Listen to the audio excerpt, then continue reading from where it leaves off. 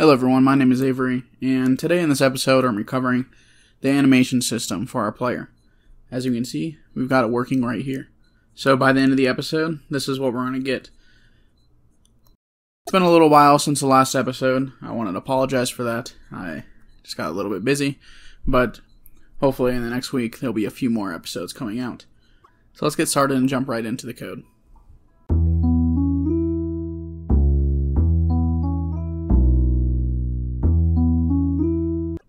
So now we're back into our game.go file, and everything that we're doing as up till now is still going to be just in this file. When we actually draw our character, we have that drawn down here. Um, there's a draw scene function, so he's going to be in that draw scene. So we have the player sprite, and so we're drawing the sprite, and then we're drawing the source and the destination. So let's just quickly go ahead and actually open up our player so we can go and look at them. It's this one right here. Basic character sprites. So I have this pulled up. And as you can see, here's the walking animation. This is where he's walking down, walking up, left and right. And there's four frames per animation. So there's four different animations that could happen in four different frames. And also, it's 192 by 192. So if we were to look at that, if we were to configure grid, then we can just do um, 48 by 48. And here I'll show the grid as well. Show grid. As you can see, each one of these animations or frames is within a 48 by 48 grid. Usually when I do it, I want to I want to have too much space in between everything, but because this is art that we're using and I don't want to make it too complicated for everyone to have to manipulate artwork or anything like that, um, we're not going to be covering anything like that, so it's just we're just going to do the 48 by 48. So now that we know that, what we have to do is change the player source in order to change what part of the frame needs to be drawn. So we can quickly just look at the player source and see where we have that. So the player source is a rectangle, and it's right here. So we can look at a little bit an example of what we're doing. Uh, I believe I have a thing right here. Oh, I guess it's at the very end. That was the beginning. Here's an example using Raylib's code for some animation stuff. Let's pull this out. And here's an animation example. It shows the frame speed and it's showing the frames. But basically, you're using the same thing that we were just looking at and changing the size of the source for what it needs to pull from the image. And then it uses a frame count, and with that frame count, it changes every single time once we get further into it, I think you'll understand it a lot more. So there's going to be a few variables. So we're going to add, let's add a player moving. That'll be a boolean. And we can do player direction. And that'll be an integer. But we're also going to do player up, player right. Let's do it in order to make sense. Down, player right, and player left. And these can be integers as well. No, these can be booleans. So these player up and down, left and right is going to be the same thing as the direction, except for the direction is also going to be used for saying which layer in the frame it needs to be. If it needs to be 1 through 4, or 0 through 3, actually. But we want to make it so the player can walk in two different directions at once. You can walk down and left at the same time. Um, so we're going to be keeping track of that with just four different booleans. And we can also keep track of a actual frame count for the game. So let's do frame count int. And that's not going to be for the player. So we can do a player frame as well. And that'll be an integer also. And in our update, actually,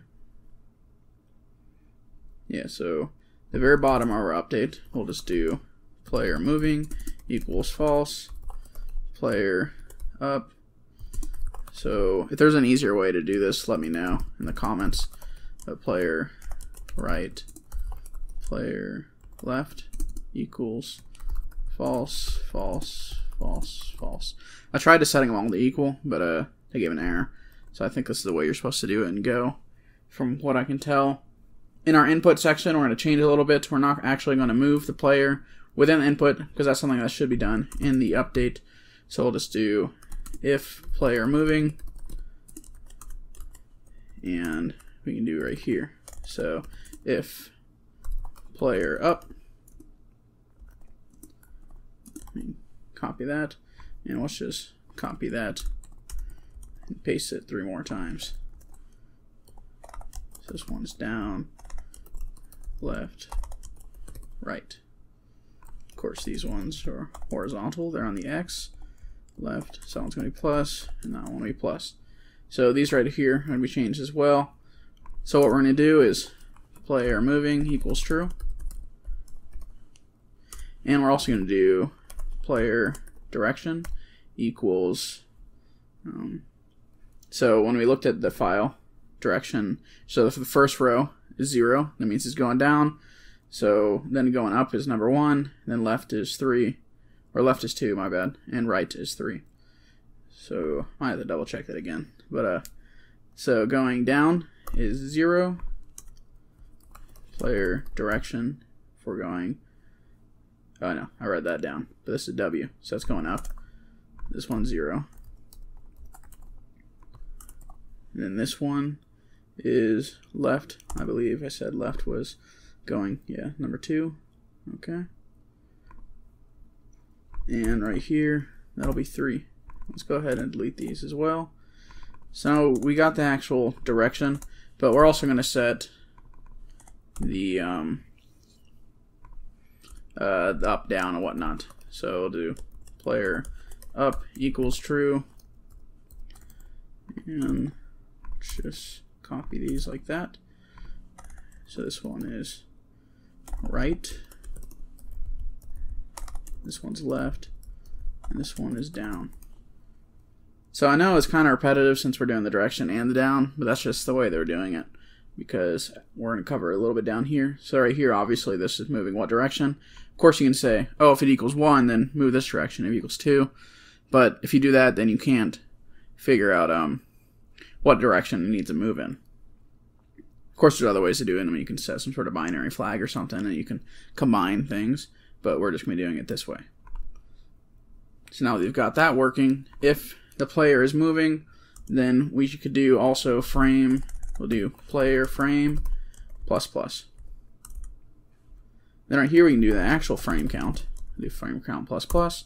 And right here we'll keep track of the frames. We don't want it to go over the fourth frame, so if it does, we reset it. So if player frame is greater than 3, then player frame equals 0.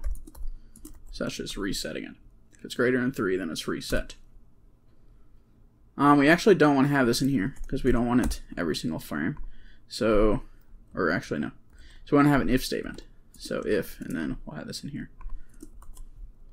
So let's just do if the frame count modulus 8 equals 1, then it'll move this frame. So we're just going to try to say every single frame count, um, every eighth one is when our player's frame needs a change.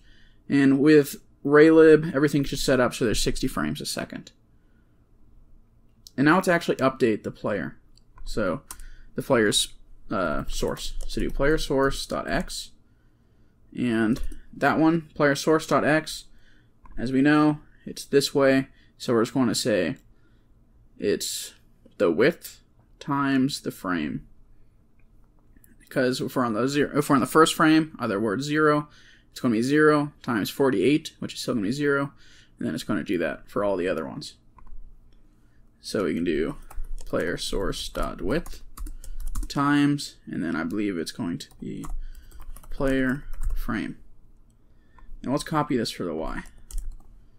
The y is that way, and then we can do height, even though it's a square, they're both the same size. And this one will do player direction, because that's the one that keeps track of which row should actually be in. So I believe this right here is going to need to be float 32 and this one should as well.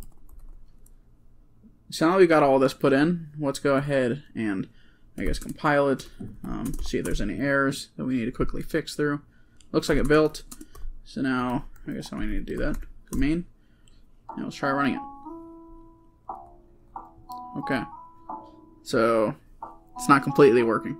as you can see, it points in the direction we want to look at, and also walks up. Apparently, that one's working. So let's go ahead and quickly check what else needs to be fixed. Okay, looking in the code, player moving, it's only set for that one. Um, I don't think that that was it completely, because that one's for, that one's for up. Okay, yeah, then that should be it. Let's uh, copy those in all these, and let's just go run, try that one more time.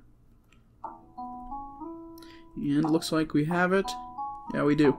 So, we have the animation for the character. If he stops walking, he stops at the same frame that he's on. So what we can do for that is let's just um at the beginning, it's right here, we'll do player source.x equals zero.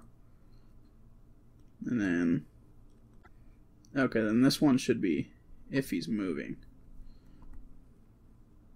Yeah, okay. So let's pop this one in here. And then this one should be right here. Because if it stops moving, we want to set it back to zero, and we're not going to change that. So let's run that one more time, and this should be everything. Perfect. So hopefully this is good. Hopefully you guys enjoyed this. I want to, I didn't plan on doing this, but, oh, I have to close that. gedit game.go. Another feature that we can try adding, maybe we can try zooming in. Okay, so there's no zoom.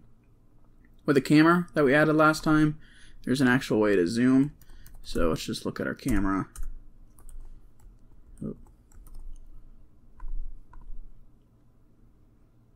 Okay, I believe this one right here might be my zoom. So let's change that to 0.5. Okay, after double checking, this right here is the rotation, and this one right here is the zoom. I'll just close that. Um, of course, yeah, you can do cam.zoom and change it, but you can also just, when we declare it, we can do it right here. So I set that to 3, and also for fun, I guess we can set that to 45 so you guys can see it. Now let's run that real quick. Three times zoomed in, and it's rotated. I'll close that, and let's get rid of that rotation, and let's just make that 2. Let me let me know in the comments. You guys can play around with the zooms and see if there's something that you guys prefer. Uh, this 2 is a little bit big. Um, maybe if it's just 1.5, I think it might look good. But just play around with it yourself. Um, I think this looks kind of good right here. Even the aspect ratio, if you guys find something that looks a little bit better, let me know as well. I hope this video is pretty short, even though I added some stuff towards the end right now. But in the next one, we're actually doing stuff with the tile set, and hopefully doing some collision too. And like I mentioned, that one's going to come out a lot sooner. There's not going to be a big as a gap between this one and the last video. Thanks again for watching, and see you guys again next time. Bye.